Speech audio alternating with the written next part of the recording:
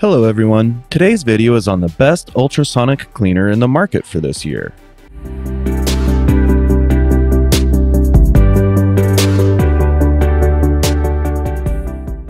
I made this list based on my personal opinion and hours of research, and I've listed them based on quality, durability, price, and more.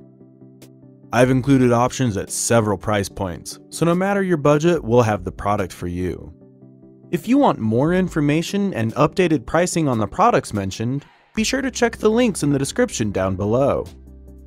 At number 1, Magnasonic Professional Ultrasonic Jewelry Cleaner. Magnasonic creates this ultrasonic jewelry cleaner.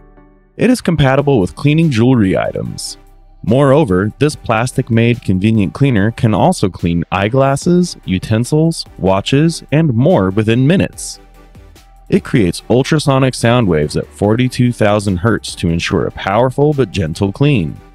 It would not harm valuables. It is very easy to use. There is a digital display from which you can select cleaning cycles from five options. After the set time, it shuts off automatically. At number 2, Ultrasonic Cleaner DYNVIM 30 liter ultrasonic carburetor cleaner. This lab ultrasonic cleaner or sonic cleaner can clean almost every relevant thing that is not longer than 18.5 inches or 470 millimeters. This device can clean, or in other words, is compatible with silver, jewelry, turquoise, earrings, gems, coins, bike chains, eyeglasses, guns, PCB, cards, gold, rings, diamonds, necklaces, brackets, retainers, glasses, brass, carburetors, vinyl records, parts, and many more.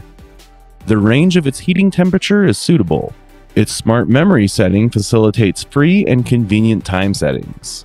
What can you say about our first two products? If you have comments or questions, then just leave them in the comment section and we will attend to them immediately. There are more products on our list, so you will still have more choices to come. If you are not yet a subscriber of our channel, then please subscribe to our channel. Don't forget to press on the bell icon to get an instant notification of when an upload a new video. Now, let's continue.